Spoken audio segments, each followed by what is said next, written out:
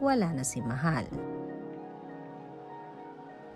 Napakahirap magpag-isa at sanaying maging mag-isa sa buhay, lalo na at nasanay ka na sa mga bagay, lugar at syempre sa taong napamahal na sa iyo ng sobra.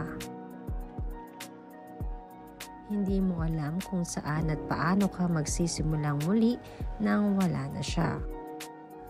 Wala na ang taong katuwang mo sa buhay. At siya din ang taong nagbibigay ng kaligayahan sa iyo.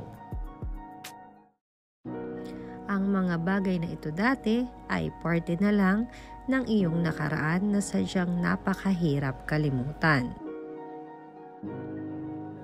Ano na nga kaya ang totoong lagay ni Mig sa bahay nila sa tuwing uuwi siya at wala siyang trabaho? Paniguradong napakahirap na isipin at tanggapin na ang dating masaya at exciting na buhay ay napuno ng pagdaramdam dahil wala na ang taong nagbibigay sa iyo ng saya at direksyon sa buhay. Sabi nga hindi madali na makalimot ang taong totoong nagmahal. At kung sakaling kailangan mo pabunso ng panahon ay take your time lamang.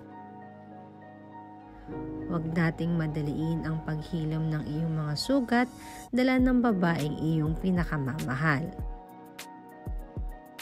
Alam namin kung gaano kahirap para sa iyo nakalimutan si Mahal ng ganon-ganon na lang. Mahirap man magsimula dahil sa dami ng pagsubok na iyong pinagdaraanan, gayon pa man, sana ay dumating ang panahon na makalagpas ka sa lahat ng iyong mga pagsubok na kinakaharap sa buhay.